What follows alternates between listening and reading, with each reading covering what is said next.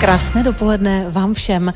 Hledím tváří v tvář naprostému českému unikátu. Je to černý kocour antracitové barvy s výrazně zelenýma očima a s bílou harmonikou uprostřed. Přesně takový v roce 1963 vyšel z dílny naší top designérky Libuše Niklové.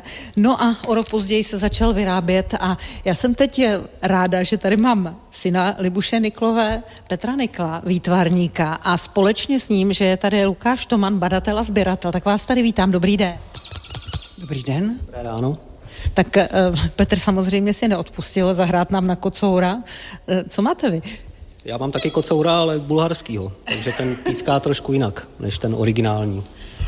Zkusíte, si chcete. No, já bych se ještě, než se rozpískáme na všechny ty kocoury, ráda zeptala tady Petra Nikla, protože ty hračky vaší maminky samozřejmě většina z nás známe je, měli jsme je doma, ať už se jedná o tyhle hračky s harmonikami nebo o ty legendární nafukovací hračky z Fatrina Pahedla, ale Mohl jste si to doma zkoušet, Petře? Mohl, byl jste vy to dítě, které testuje maminčiny hračky? No to je otázka, musel jsem si to zkoušet. Já jsem byl jeden z prvních, kdo si to zkoušel a tu výdržnost té hračky vlastně pruboval. Takže zrovna ten kocour přesně zapadl do mého věku, protože to jsem měl tři. Když se narodil kocour, tak já jsem se narodil tři roky předtím. Když to třeba u těch nafukovacích, u těch sedacích, které byly v 70. letech, 69, 70, tak tu už jsem měl 9, 10 a to už bylo na mě trošku moc. Co udělá tříleté dítě s tímhle kocourem? Já si vzpomínám, že jsem kromě toho zvuku na něj vyluzovala i nebo jsem se snažila vyzkoušet, jak daleko se ta harmonika dá vytáhnout, aniž by se něco utrhlo. Zkoušel jste to taky? No, on, když se koupí v obchodě, tak je roz, rozdělený vlastně na díly. To je další úžasná věc, ty hračky, že se musí napřed složit. A tím pádem je rozložitelná a dokonce tím pádem je možný vyměnit třeba hlavy pejskově kočičce, že má pak pejsek kočičí tělo a kočka pejsčí, že jo. Ale to už je trošku taková brutálnější hra. Nicméně eh, ten komplex všech jako požitků, samozřejmě haptický, sluchový, vizuální samozřejmě, ten hmatový, haptický, ten je nejdůležitější, že pro to dítě asi, protože ono naraz v tu chvíli si uvědomí, že může ovlivnit, může ho rozmňoukat a že ona, že to dítě, já teda v těch tří letech jsem ten, který oživí tu hračku, což je takový ideál, že jo, pro hračku. Lukáši, kolik vám bylo let, když se narodil tenhle kocour legendární? Je, kolik bylo let? Minus Minus 20 vlastně, minus 20 mě bylo, no, takže já jsem se s tímhletím kocourem za svého mládí vůbec nepotkal, ale měl jsem jiný hračky od Libuše Niklový nafukovací, těch jsem měl pár, ale spíš jsem si hrál s kučičíma hračkama. Tohle to do mýho jako repertoáru hraček moc nezapadalo, takže já jsem se s nima vlastně potkal až v dospělosti.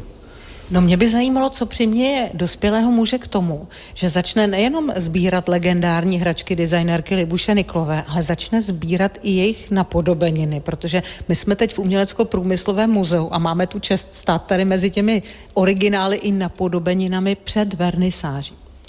No, tak to je, to je taková velká schoda náhod vlastně. Já jsem začal vlastně kvůli spíše z business pohledu, že jsem odhalil, že ty hračky se dají prodat za pěkný peníze třeba do zahraničí.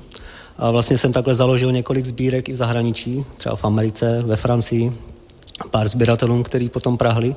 No a vlastně eh, pak se sešlo, že jsem měl možnost koupit celou jednu sbírku vlastně těch kompletních originálních hraček od Libuše Niklový v jednom antik shopu a tak jsem neváhal, okamžitě jsem je koupil, protože do té doby jsem si myslel, že se mě to ani nikdy nepovede je, je dát dokupy, těch originálních 12 ale jelikož jsem se dostal uh, k celé sbírce takhle najednou, tak jsem je okamžitě začal sbírat. No a pak jsem měl zval jeden sběratel, který mě chtěl vlastně prodat jednu kočku, o který se tvrdilo, že teda je prototyp z Fatry. On vlastně kontaktoval i s chodou okolností Petra Nikla a ten mu taky řekl v té době, že to bude nejspíš prototyp, protože se opravdu nevědělo, že by se vyráběli ještě někde jinde. Ale jelikož teda jsem pak přišel na to, že ho zakoupil v Maďarsku, tak mě došlo, že vlastně se asi vyráběli i někde jinde ještě, i když to všichni jako popírali, že údajně byla jako velmi nákladná výroba a bylo to hodně složitý a vlastně Libuše Niklová to měla i patentované, takže to vypadalo jako nemožný, že by někde ještě vyráběli jinde ale nakonec se ukázalo, že se vyráběly ještě v dalších 20 zemích a e, nejzajímavější na tom vlastně je, že se vyráběly jak na východě, tak i na západě. Že ta hračka byla tak unikátní, že stála prostě i těm západním zemím za to, aby ji okopírovali. Jo? Takže to je vlastně něco hodně unikátního, co vlastně Libuše Niklová dokázala. My tady mezi těmi padělky teď stojíme. Máme, e, vy máte e, dva kocoury v rukách, jsme obklopeni několika desítkami těchto zvířátek. Kolik vlastně stál ten kocour, Petře? Já si to nepamatuju. Já vůbec ne, ale Lukáš říkal, že 2,50. Korunu 50 dokonce. Pes, pes Rafan stál 2,50. To je, to je teda cena z katalogu Magnet z toho roku, kdy vlastně se začaly vyrábět, protože on se jakoby narodil v roce 63, kdy ho Libuše Niklová nadizajnovala, ale až v roce 66 se, um, se vlastně dostal do výroby, protože mezi tím proběhly ještě patentový přihlášky a takovéhle věci. Takže vlastně v tom 66. no a potom už jako e, tam v tom magnetu ukazují, že stál korunu 50, 2,50. Potom myslím, že ho za tři, za čtyři roky zdražili na nějaký ty dvě koruny, no. Takže... No moment, a kolik dneska?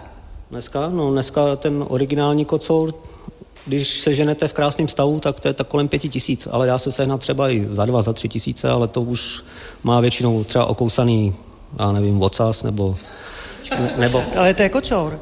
Oslíček třeba 40, 40 tisíc, protože byl v menších sériích, ale mně se strašně líbil ten termín Lukáše, business pohled. To mě úplně zatrnulo. Ale vy jste se začal smát totiž. Když si pojeme na ty kočky, jaký mají pohled, tak to je typický business pohled kup si mě. Že, takže, ne, takže se nedivím, že, že šli tak na dračku, ale nutno říct, že teda tato sbírka je neprodejná.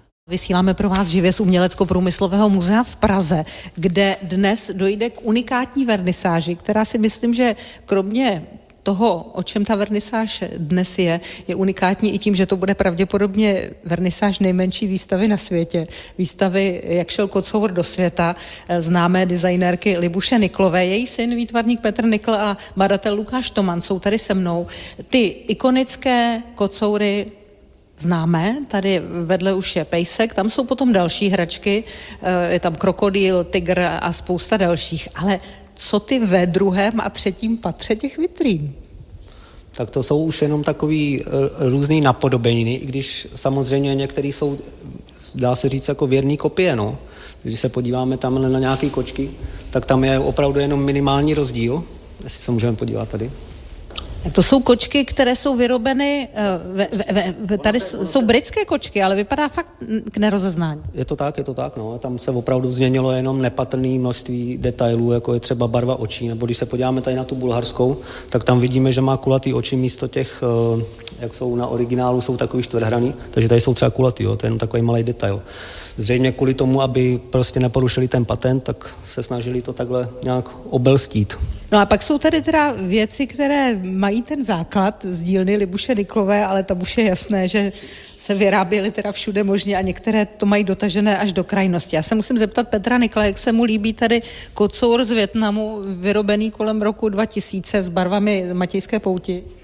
No, tak eh, samozřejmě je to výstava bastardů, mutantů, klonů a levobočku, ale eh, překvapilo mě, že i přesto, jak jsou pozměnění, že vyjadřují velmi pozitivní eh, radost a že ten nápad nemůže přemlít nebo zkazit eh, vkus výtvarníka z jiného národa. On to, to dobře svědčí o, o vkusu různých e, zemí a Větnam je teda extrém. Jednak je to tím, že to je, je, je jiná skupinka, která je z roku 2000, takže už je to trochu jiná hmota, jinak ti ostatní, e, ty ostatní jsou o 30 let e, mladší vlastně a souvisí s časem výroby i v té fatře na pédla, že byly o trošku později jenom, takže to jsou všechno 70. léta, 60. Ale tenhle ten Větnam narazí rok 2000, je to taková smrsklina, řekl bych,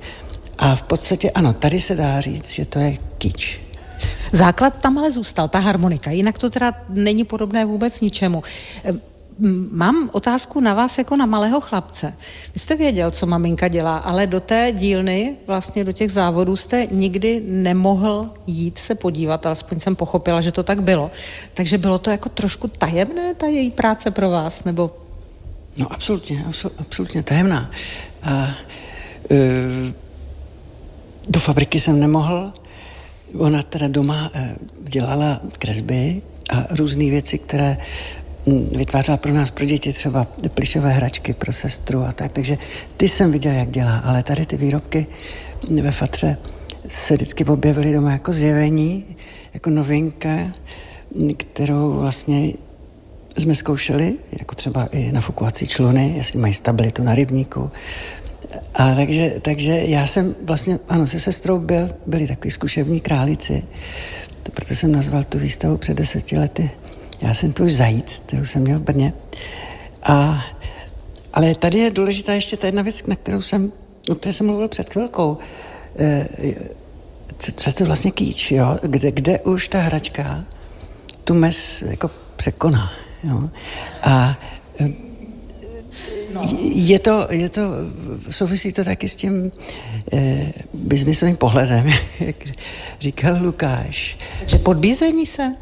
Ano, je, no, no jasně, jasně, ale to právě maminka těma hračkama ten vkus nebo jako ten cit eh, pro tvár, pro barvu, pro funkci eh, byl edukativní pro ty děti, že, že ho vlastně vychovávala je k tomu, co, co je vyvážené, co je harmonické, už co, co jsem říká harmoniky těm hračkám, že oni jsou opravdu harmonické.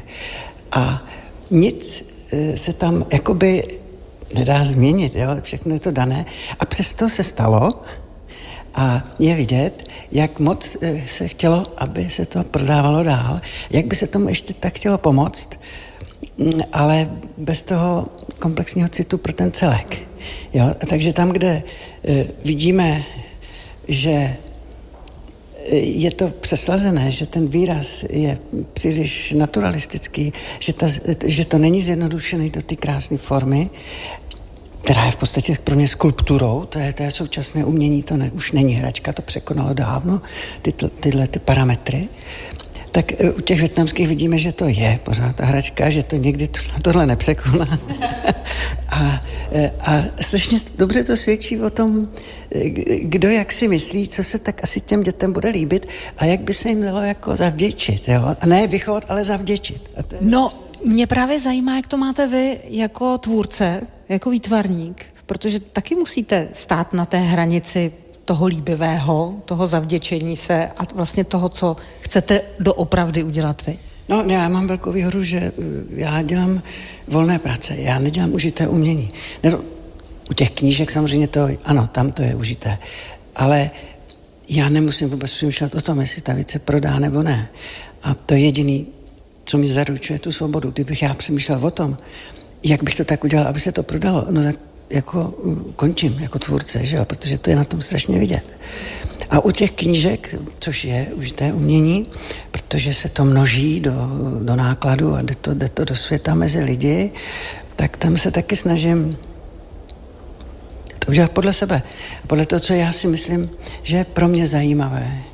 A já nesmím myslet na to, co je zajímavé pro ostatní. To si musím zakázat. Takže tady je ten trošku rozdíl maminka musela myslet na to, že to je pro děti a vcítit se do nich, ale navíc to udělat tak, aby to vlastně bylo originální a nepodbizivé. A to je strašně těžké. O čem byste chtěl debatovat se svojí maminkou? Tak já nevím.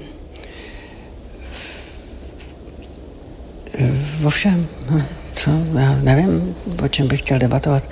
Ne, protože teď jsme tady prostě nakousli nějaký koncept užitého umění a umění obecně, tak jako jestli byste se bavili prostě o, o práci nebo... To není třeba, to není třeba, protože to, o tom si nemusíme říkat.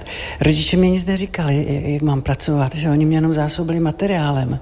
A, tím to, a já jsem byl jenom přítomen, jak, jak oni něco tvořili. A to úplně stačí k tomu, abych já měl pak ten poput taky něco dělat. No. Ale to je neuvěřitelné, na rozdíl třeba od prací tatínka, že, který dělal úžasné obrazy taky a ovlivnil mě taky. Jenomže maminka umřela poměrně mladá, jo, ve 46 letech a já 40 let po její smrti neustále objevuji další a další stopy, o kterých se vůbec nevědělo díky tady Lukáši Tomanovi. A to je teda neskutečné. Jo. Nejenom legendární kocour z dílny eh, legendární designerky Libuše Niklové, ale i další tvorové. Lišák, pardál, lev, tygr, krokodýl, koza, beran a osel. Všechno harmonikové hračky jsou tady s námi v Umělecko-průmyslovém muzeu. Bavíme se o designu s Petrem Niklem a sběratelem Lukášem Tomanem. Pojďme si říct něco k tomu patentu vaší maminky, když už vidím, kolik zemí ho pravděpodobně ani nekoupilo. No, tak, tak eh, od maminky je tady deset vlastně zvířat, kromě vláčku a miminka, který jsme tady nevystavovali, chtěli jsme to nechat jenom na zvířátkách, takže ona navrhla v této řadě jenom deset vlastně zvířat. Takže je to hodně malá výstava, ale s, s obrovským přesahem, protože tady eh, je vidět eh, kocour z Guatemaly a na druhé straně z Tajvanu, z Bulharska, z Rumunska a z nejrůznějších zemí okolo nás. A všechno to souvisí s tím jednoduchým nápadem, kdy maminka si všimla, jak se ta sanitární technologie prostě z plachovacích různých trubiček začala vyvíjet a oni začali používat husí krky na začátku 60. let, tak jí napadlo prostě z toho husího krku udělat pískací tělo. Pardon, je to tedy trubka originál z WC? No to, to, to je samozřejmě už navržený pro tu hračku. No to jo, ale originálně, když to vaše maminka dělala jako prototyp, tak to byla původně tahle trubka. No kdyby byl designer WC kreativní, tak dá i tam ty pískátka. Takže při každém eh, spáchnutí třeba bychom měli k tomu ještě nějakou tu hudbičku. ale to se nestalo protože WC není jaksi hravá věc, i když jsou WC třeba do čtverečku, že jo, to vůbec nechápu ten design, protože já mám pak otlačený zadek.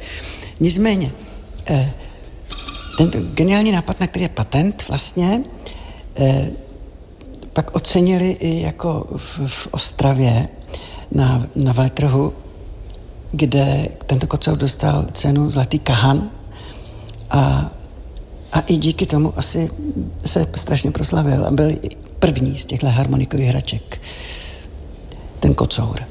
A patrně proto si ho všimli prostě různě po světě, ale to už maminka nemohla vidět, protože to komunismus samozřejmě autorský práva a nějaký, e, nějaký patenty se moc neřešily.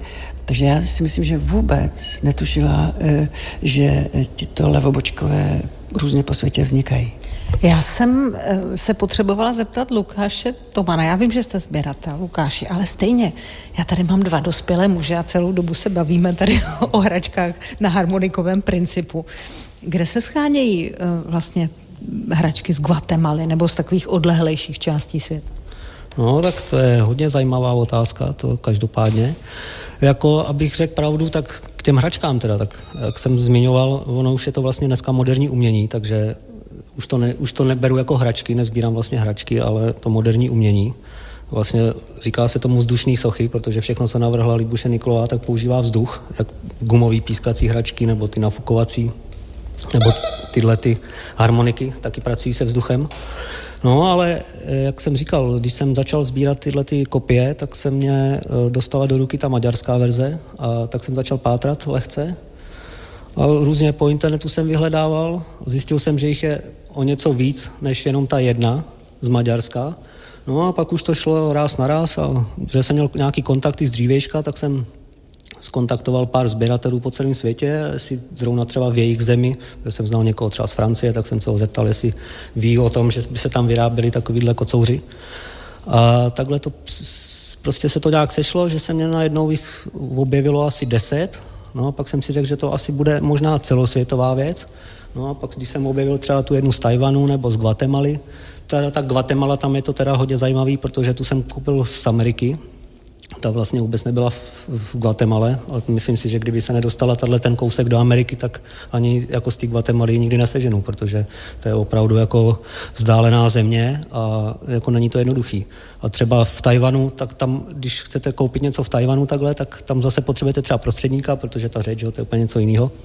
Takže většinou scháním nějaký sběratelé po internetu hraček z různých zemí a přes ně takhle scháním tyhle ty hračky, protože ta jazyková bariéra a tohle, to je samozřejmě tady v těch vzdálených zemích, to je dost těžký. My jsme obklopeni hračkami Libuše Niklové, ale přece jenom je tady skleněná socha. A to teda nevím, kde vyrobili. To vyrobil Zdeněk Hocký ve své dílně v Pelechově, to lité sklo. E, já jsem ho poprosil, aby mi odlil jednu kočičku na tu výstavu, která, kterou jsem měl před deseti lety. Ale ještě k těm, e, k těm hračkám je, je, je teda zajímavé to, že eh, jak se vyráběly po celém světě, tak eh, mají samozřejmě různé odchylky i v tom pískátku, i v tom pískátku, i v tom zvuku, že Takže takový můj sen je, že rozdám filharmonii a budu dirigovat a 50 člená filharmonie by mohla jako zahrát nějaký koncert, na, eh, pískací koncert na vernisáž, to byla ideální vernisáž. Ale... Pardon, no a co se tady vlastně dneska večer bude dít? Bude se hrát na kocoury? No, tady na to není takový prostor, jenom se řekne pár vět a já zahraju na kocoura. Říká Petr Nikl. Dnes je hostem radiožurnálu společně s badatelem Lukášem Tomanem. A celou dobu žasnu, protože si s dvěma dospělými muži vyprávím o designu hračky. Já se nepovažuji. No ne, já jsem právě chtěla říct, že, že to je takové zvláštní, že možná ani jeden nejste dospělý muž, ale nechtěla jsem to říct naplno, protože bavit se s dvěma chlapama o hračkách takhle dlouho a takhle vášnivě, to mi připadá, že prostě je krásné. Jenom kde je ta vášeň pro to? Je to v tom dětství, je to v té hravosti, je to v tom, že maminka opravdu vytvořila něco unikátního, Petře? No jasně, je to unikátní, že jo, ale ta hravost je na, na dlouhé povídání, já ji mám jako obecnou, jako to se nedá vztáhnout k dětské hře třeba, jo, ale k všeobecné hře, takže to je, to je jiné téma. Ale co se týče těch mamičných hraček, tak jsou skutečně jako pro mě eh, uměleckými díly, jako srovnatelnými se současnou plastikou. A proto se staly ikonou 60. let i v tom designu. A díky Lukášovi a díky internetu eh, bylo možné dopátrat ten potěr, který oni vlastně po tom světě měli. Protože před 30 lety by to nikdo nedokázal bez toho internetu. A zásadní je pro mě to, že jsem řešil takový ten etický problém, tak budu, budu vystavovat eh, hračky maminky spolu s těmi eh, jinými typy od jiných návrhářů. A pak jsem si že to je vlastně strašně zajímavé eh, v tom, že mm, to svědčí o tom bacilu pozitivním, kterým ona nakazila vlastně celý svět. A eh, to je úplně úžasné. A vlastně ani mi nevadí, že někteří vypadají tak srandovně a pitoreskně a jsou to vlastně karikatury. Je to strašně veselá výstava a svědčí to o, mno, no, o, o mnohem vlastně. Je, je to úžasný, no. Proč by si tohle lidi měli jít prohlédnout? E, to tak e, jako, jako cokoliv si jdou prohlédnout, protože to je mimořádně zajímavé. A, ale další věc je ta, že a teď jste mi vyrazila tu myšlenku z úst, že... Pojdu si vedle, můžete dotvořit myšlenku. že... Mm, Petr Nikl přemýšlí, přecházím k badateli Lukáši Tomanovi. Proč se jít podívat tady na tuhle výstavu? Proč se na ní přijít podívat? No tak já myslím, že to je asi docela jednoduchý, protože tady tohle vlastně mění hodně jako pohled na Libuši Niklovou, protože doteďka nikdo nevěděl, že ta hračka byla tak geniální, že vlastně stála za to, aby ji okopírovali v celém světě. Jo. Jak jsme říkali, je to 20 zemí světa, kde si vlastně děti hráli s hračkama Libuše Niklový. V některých zemích to vyráběla nejenom jedna fabrika, ale třeba čtyři, takže dá se říct, že si s těma hračkama hrálo deset, desítky milionů dětí po celém světě. No a nejzajímavější na tom vlastně je, že jak na východní straně eh, železné opony, tak i na té západní všechny země vlastně dalo by se říct Evropy to okopírovali a takřka okamžitě, protože ty všechny vznikly během 3-4 let od toho, co ho Libuše Niklová navrhla, takže to byla opravdu revoluční hračka. Vlastně její patent je na flexibilitu plastových hraček, takže do té doby vlastně ani žádná taková hračka neexistovala. No a co kdyby se začala vyrábět zase? No jo, to není, to není levná výroba. Mohli by nám o tom něco říct právě Větnamci kteří to ještě před 20 lety vyráběli. Ale jo, to by bylo krásné. Ale já jsem třeba by mohla být i z porcelánu, protože, jak jsem říkal, že to je vlastně taková fetiš pro sběratele. Krásná věc, jako designová, tak uh, uvažuji o tom jako edici z porcelánu, no, no, no. Ale zajímavé je i to, jak to jméno maminky se proslavilo tady teda v Čechách. Tak pak všichni lidi se myslí, že cokoliv je z umělé hmoty, tak je vodní. Takže na tom internetu jsou takový různý fejky, řekněme, pod kterým je napsáno Libuše Niklova. A tady to právě eh, si může člověk eh, na pravou míru vlastně ověřit. Že teda ne všechno je od maminky, ale ten její nápad, ten její, eh, ten její duch, duch v tom, ten vzduch, ten její vzduch v těch pískátkách je tady pořád. A bude. No to bude, to jako bez zesporu. Máte někoho z těch originálních hraček oblíbeného, kromě kocoura? Ale to je taková ta častá otázka, já to nesmím říkat. No ne, protože já mám rád všechny, tak já nebudu prostě ty jiné, eh, ty se naštvou a co, nebudou si se mnou hrát pak. No, krokodýla, toho bych se bála, ale zrovna teda to je můj oblíbený. Právě nádherný ten krokodýl. To je to největší pískátko, co tady je. Takže nemá nohy, že jo. Mohl by mít, nemá. Proč? Nevíme. Já bych ještě rád dodal, že ty hračky by se ještě vyráběly nejspíš do dneška, kdyby nepřišla čínská výroba hraček, protože ta vlastně zabila úplně všechno tohleto všechny, co jsem zjistil tak nějak, tak všechny tyhle ty fabriky, které to vyráběly, tak vlastně skončily kolem toho roku 1990 a tak. Takže to byl ten hlavní problém, proč se přestali vyrábět a možná, že by se vyráběly ještě do dneška, kdyby ty fabriky na, tý, na těch státních úrovních zůstaly a nedováželo se všechno z Číny. Ale to se, Lukáši, týká těch nafukovacích především, jo? Tyhle ty vlastně skončily výrobu v té fatře už v těch 60. letech no, a nahradili. Ve fatře, jo, nahradili ve fatře jo, ale tam třeba v Argentině tam je vyráběli ještě v roce 1990. Tady už se nám badatel dostává do sporu s výtvarníkem eh, a taky hravcem. Eh, Petr Nikl a Lukáš Toman byli dnešní hosté radiožurnálu. Vysílali jsme pro vás živě z Umělecko-průmyslového muzea obkropeni krásnými hračkami Libuše Niklové. Třeba udělají v Umprum muzeu v Praze radost i vám. Tak děkuju a ať se vám daří. Taky děkujeme. Díky za pozvání, ještě bych chtěl dodat, že díky mý mamce a babičce by tahle sbírka nikdy nevznikla, takže děkuji. Lucie Výborná od mikrofonu přeje hezký den, ať se dneska daří i vám.